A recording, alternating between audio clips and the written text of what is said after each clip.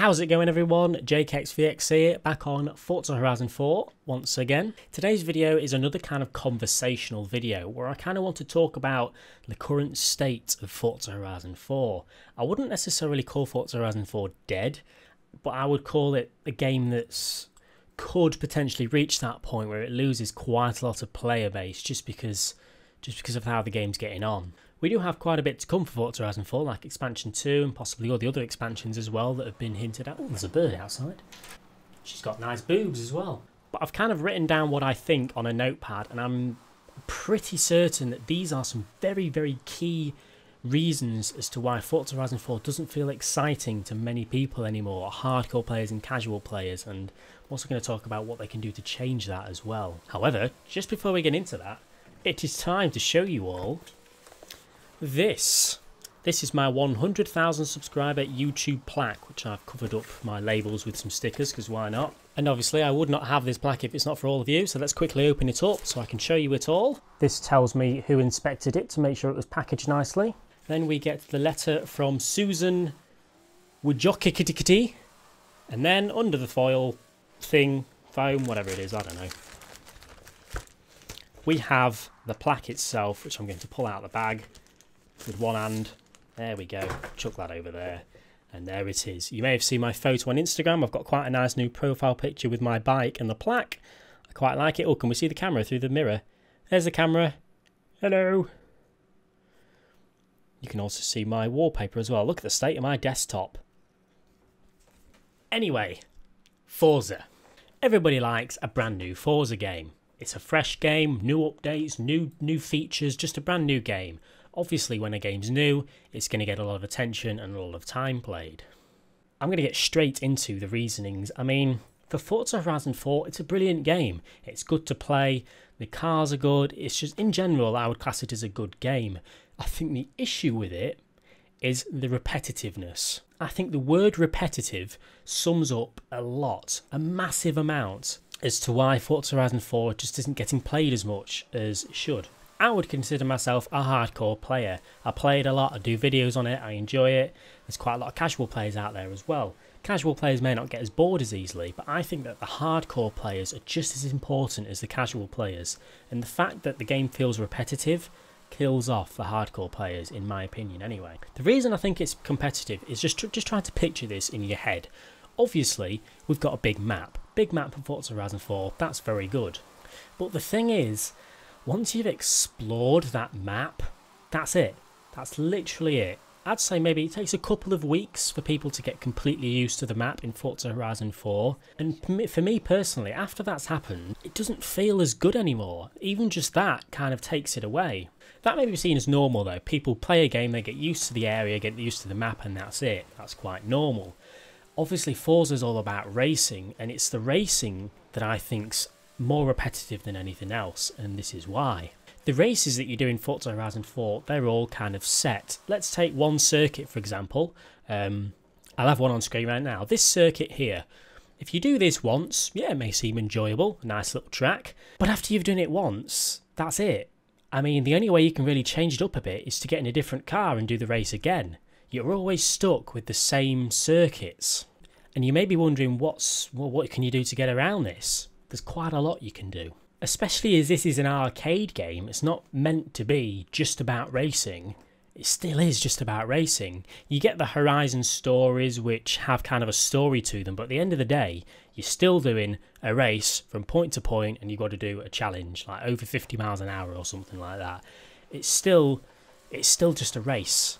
You know what I mean? The races and the games, the mini games that you play, need to feel different every single time you do it. And I think the trouble with Forza Horizon 4, the races don't. They feel just too similar to each other. Let me just compare this to Call of Duty, for example. Call of Duty online multiplayer has maps. Once you play the maps a few times, you get used to them, completely used to them. But you keep playing multiplayer because each game you play is different. You may pick a different gun, you'll have a different team. There's just so much that can be so different in every single game that you play. In races in Forza Horizon 4, you even finish in first place, or in 12th place, or anywhere in the middle, and that's it. I think we need a way to completely change up how the races are played. I think there needs to be ramps on races, there needs to be jumps, hoops, there needs to be so much different stuffs on races because it's a, it's an arcade game. That's the point of Forza Horizon. It's not supposed to be a simulation game like Motorsport. In the Route Creator, for example, the Route Creator is a good addition because that gives infinite possibilities for race kind of routes, which is good. That takes away the repetitiveness, but you're still driving on the same roads as a map that you're already used to anyway, which again kind of kills it a bit. We need the ability to literally change how the map is ramps, hoops, just adding things, adding parked cars, adding buildings. Maybe not buildings, there's a bit of a stretch, adding barriers because the possibilities would be endless. Can you imagine if in Route Creator we had the ability to add barriers and cars and just, you know, ramps and hoops? It would be unbelievable. It would be unbelievable. And something as simple as that would add a ridiculous amount of things for people to do in the game. That's something crucial that I really think would change up a lot when it comes to repetitiveness in Forza Horizon 4.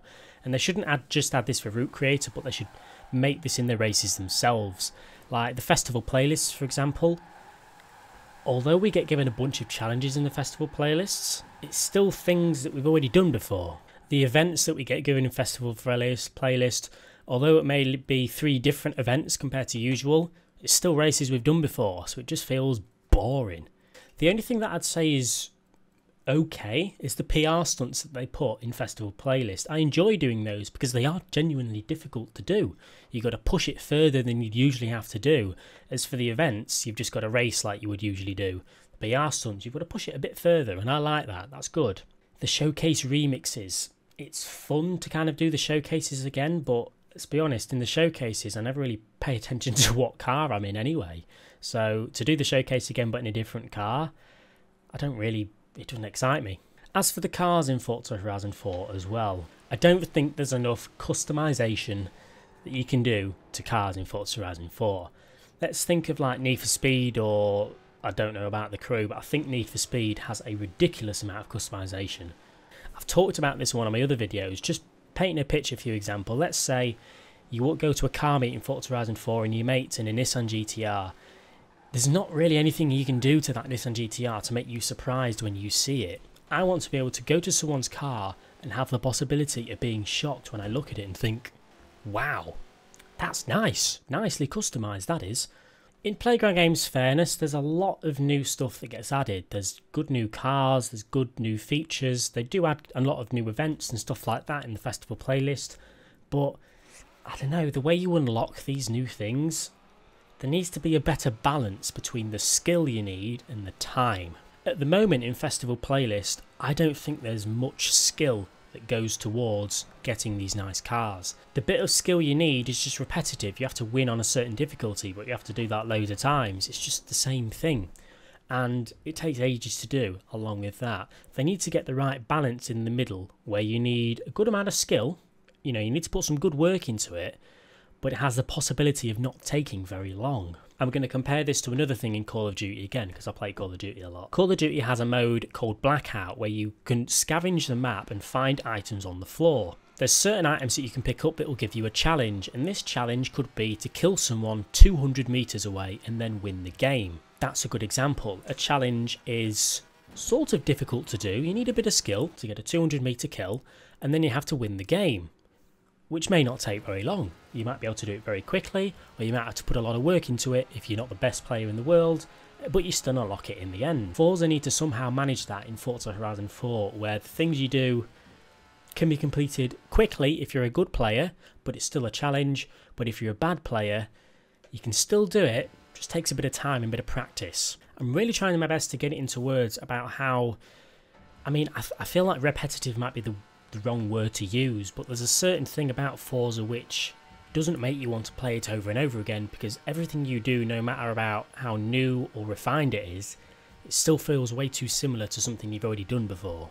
GTA has done it perfectly. The races in GTA used to kind of be repetitive, but as soon as they started adding all the dynamic kind of magical maps with hoops, well not magical, but you know what I mean, they kind of added a lot more objects to races and stuff like that with the stunts and whatever update it was. It made it so much better, world better. It was unreal.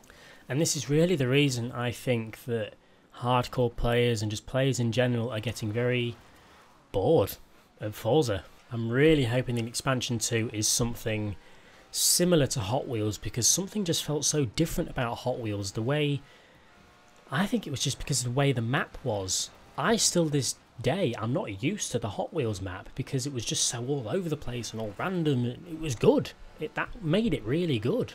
You had those boost things that you could go over. There's just so many little different things that could happen. I really am hoping with the next expansion we get something similar to that because that might revive Forza Horizon 4 for a little while until they can pull the finger out and do something else. What I'd like you to do on this video is if you agree with me, if you think repetitiveness is a big issue to why Forza Horizon 4 can get boring and racing around in it, leave a like if you agree with me. If you disagree with me and you think it's something else, leave a dislike. I don't mind, you can leave a dislike, but then in the comments I want you to kind of explain why. But this video was partly to kind of have a little rant about what I think the main issues about Forza is, and also just to let you all know that obviously other kind of videos are going to come as well. Do let me know what you think in the comment section below because it's a very controversial topic I'd say this is, and yeah, I'll have to wait and see. If you like, if you've enjoyed, subscribe if you haven't already for more Forza Horizon 4 content, and I'll see you all later.